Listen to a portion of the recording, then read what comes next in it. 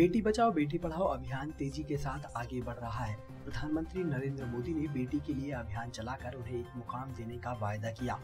तो वहीं उत्तर प्रदेश में मुख्यमंत्री योगी आदित्यनाथ ने सामूहिक विवाह योजना चलाकर बेटियों को और भी ज़्यादा मज़बूत किया। मुख्यमंत्री द्वारा चलाई गई योजना को जन जन तक पहुँचाने के लिए मुरादाबाद में भी कार्यकर्ता ज़ोर शोर के साथ लगे हुए हैं। 8 मार्च को पंचायत भवन में सामूहिक विवाह योजना के अंतर्गत विवाह कराए जाने हैं, जिसको लेकर तैयारियाँ की जा रही हैं। प्रभात मार्केट स्थित कार्यालय पर बेटी बचाओ, बेटी पढ़ाओ अभियान की महानगर संयोजिका प्रिया अग्रवाल ने कार्यकर्ताओं के साथ बैठक की और सभी को कार्यक्रम की ज़िम्मेदारी सौंपी प्रिया अग्रवाल ने महानगर की जनता से कार्यक्रम में हिस्सा लेने की अपील की है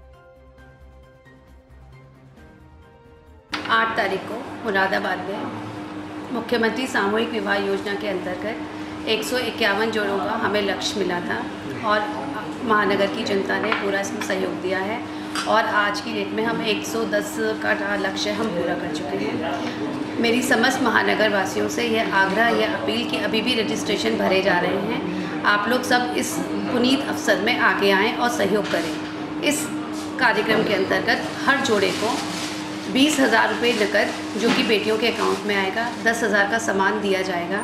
मैं पुनः आग्रह सभी महानगर वासियों से करती हूँ कि आप लोगों का सहयोग आ, हमें चाहिए और आप लोग सब इस कार्यक्रम में बढ़ चढ़ कर हिस्सा लें ताकि गरीब बेटियों का हम उद्धार कर सकें।